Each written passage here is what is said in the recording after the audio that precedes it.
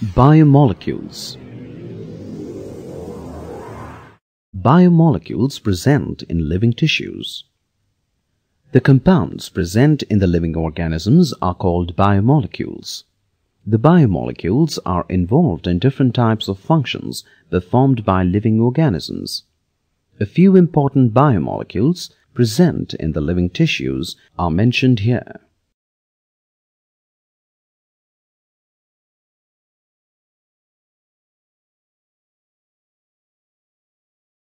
Proteins as macromolecules.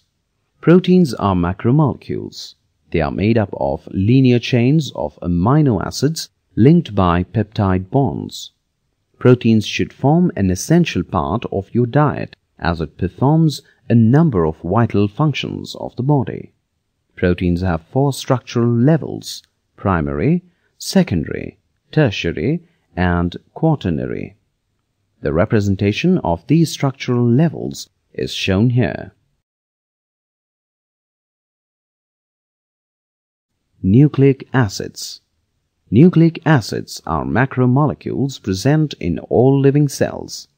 There are two types of nucleic acids namely deoxyribonucleic acid DNA and ribonucleic acid RNA.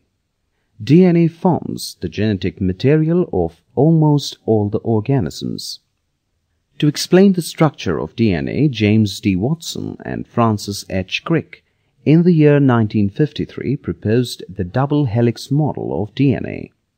According to this model, DNA molecule is composed of two polynucleotide strands running anti-parallel to each other like a twisted ladder.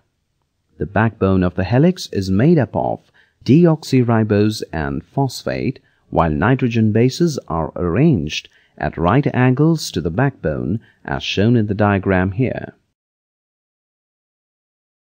Enzymes The biocatalysts Enzymes are proteinaceous substances which are capable of catalyzing biochemical reactions without itself undergoing any change.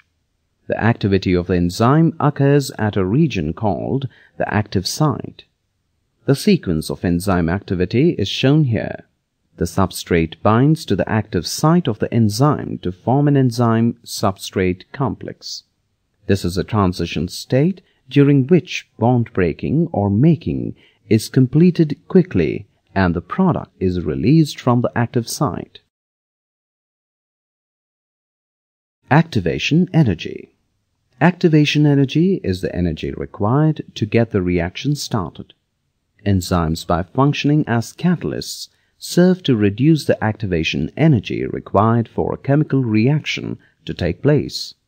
The graphical representation clearly shows that the activation energy required for a reaction without enzymes is much higher than the activation energy required for an enzyme catalyzed reaction.